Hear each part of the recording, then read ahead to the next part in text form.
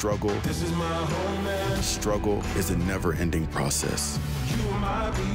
Freedom is never really won. You earn it and win it in every generation.